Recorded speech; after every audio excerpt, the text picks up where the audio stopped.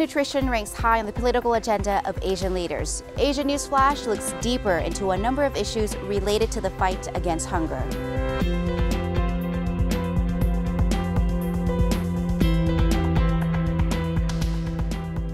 Welcome to today's edition of Asia News Flash. I'm Serena Manisho, your host for today's program. A daily glass of milk can make a big difference in improving the nutrition of food for children, especially there are many benefits in terms of health and also education for children. The increased consumption of milk and other forms of dairy products by the vast populations in Asia, however, presents a number of challenges. And today joining us is Mr. Vinod Ahuja, the Livestock Policy Officer at the FAO Regional Office for Asia and the Pacific, based in Bangkok, to share his thought on this matter. Welcome to the show, Mr. Vinod Ahuja. Thank you. The last two to three decades, we have seen that milk and other forms of dairy products playing a pivotal role in the lives of many people in Asia. Can you tell us and explain the reasons behind these trends? Well, there are many important reasons for mm -hmm. this. Uh, first, as we know, uh, incomes uh, in the region have grown quite rapidly over the last two to three decades. Mm -hmm. And when people's incomes grow, mm -hmm. they usually like to have higher quality diets, and that includes milk. The other reason is that the nutritional awareness about nutritional qualities of milk mm -hmm. has improved. Uh, so the Asia region has emerged as the strongest growing region when it comes to consumption of milk and milk mm -hmm. products. On the production side, governments are increasingly recognizing the tremendous potential of dairy sector in generating rural incomes and rural employment, mm -hmm. and they have taken specific measures to invest in promoting dairy. They have promoted dairy cooperatives. Some of the governments have promoted dairy hubs mm -hmm. or uh, private investment in dairy sector. Mm -hmm. So these are the factors behind uh, these trends. So if milk is a small farmer's favorite, then who are the producers in the region then? Well, if we were to look at the entire Asia Pacific region, uh, more than 80% of the milk in the region is produced by small farmers. Mm -hmm. Uh, between 1980 and 2010, milk production has actually grown from about 57 million tons to more than 225 million tons. Mm -hmm. This is fourfold increase in three decades. Mm -hmm. And this is the result of hard work of millions of small farmers mm -hmm. uh, who have been supported by uh, rural organizations and dairy cooperatives in over 25 countries. Mm, and what about the demand for milk itself? Well, the demand is growing faster than production, and that means countries have to import. And the, the import dependency is increasing in some of the countries in the region. But if we look into the future, uh, we estimate that by 2050, the region will need to produce about 400 million tons. Mm -hmm. And that's a huge challenge mm -hmm. uh, and requires huge investments in improving productivity and strengthening linkages to markets for these small farmers. Can you outline what are the things that might be needed? Okay. One of the uh, important area in my view is to invest in improving productivity. Mm -hmm. uh, productivity currently uh, is constrained due to poor genetic potential, due to prevalence of, mm -hmm. a, of a lot of diseases and so on.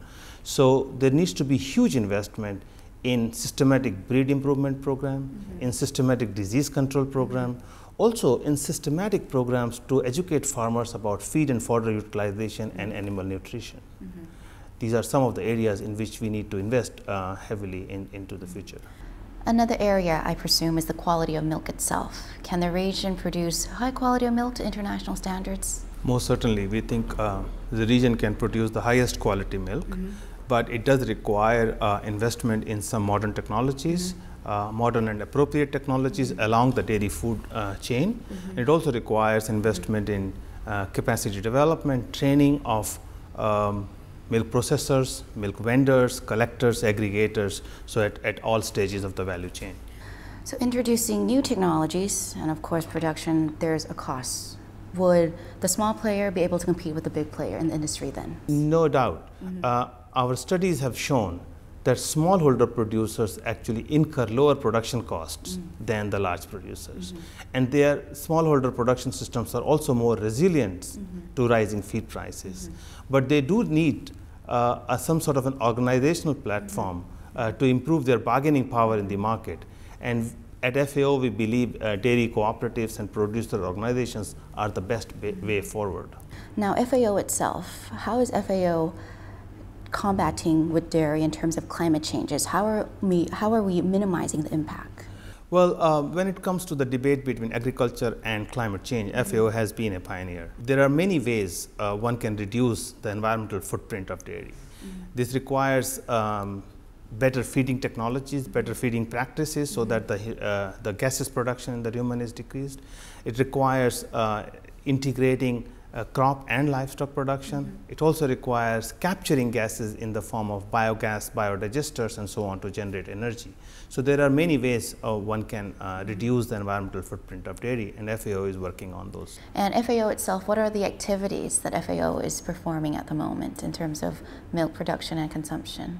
Well, FAO has been very active partner in promoting dairy development mm -hmm. since 1970s. Currently, we have programs going in Thailand, Myanmar, uh, Bangladesh. Uh, FAO has also worked with national and international partners to develop a regional dairy strategy, mm -hmm. which informs the governments mm -hmm. as to how do you how to develop the dairy sector while including smallholder producers. Mm -hmm.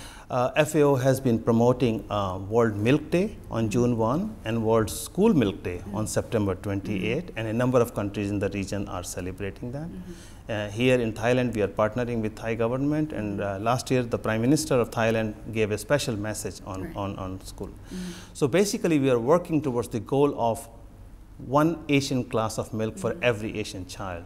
And we would like to invite all donors and all partners to join us uh, in this worthy goal. Thank you very much, Mr. Vinod Ahuja, for sharing your insights on the current situation FAO is facing in the Asia Pacific region. Thank you. It's been a pleasure. Thank you.